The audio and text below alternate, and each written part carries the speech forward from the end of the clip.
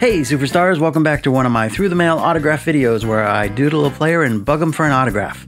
My buddy Brandon Stebbins sent a Corona care package with this pack of 1990 Upper Deck, so we're gonna find ourselves our next lucky victim.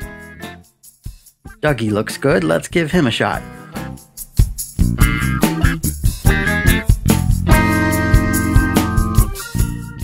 I'd like to get something off my chest. Something's been bugging me lately. All of my life, I've always had an arch nemesis, someone to be the yin to my yang. That sounds weird. In grade school, it was Dave G. Dave's family won the lottery and he had a super cool pool in his backyard, but he never invited me over.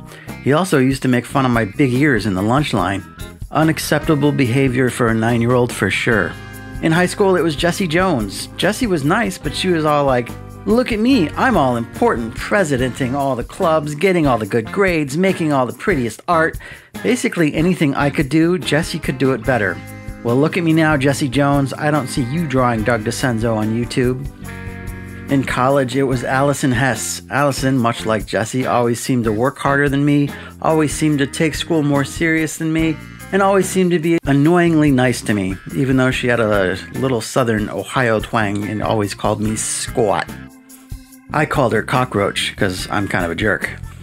But for the last few years, I have not had an arch nemesis. No one to keep me grounded, no one to keep me motivated to be better, and no one to take the brunt of my unwarranted ire. And now I've got a big head. I'm a huge egomaniacal mess, but I digress. What were we doing? Oh, yeah, Doug Dascenzo. You all know I'm a huge Indians fan, but in the early 90s, Ryne Sandberg's Cubbies were my joint.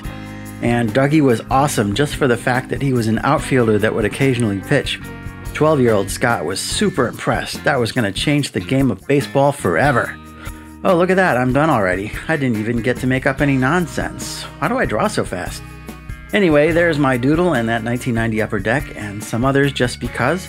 I hope he doesn't take offense to that big old schnoz. Custom sticker and off to the mailbox.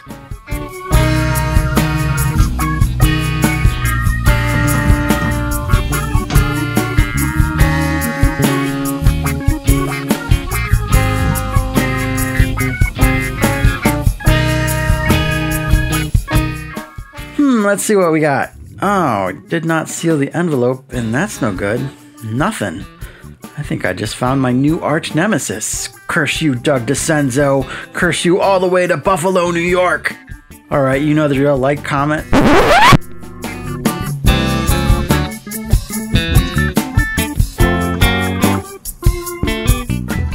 What's this? This is not my SASE. Look at that. He used his own postage to send this back to me. Signed the cards beautifully and signed the doodle. Huh.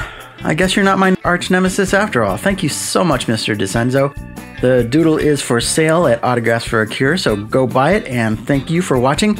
Like, comment, subscribe, yada yada yada. And if any of you have any interest in being my arch nemesis, please let me know. Take care, y'all.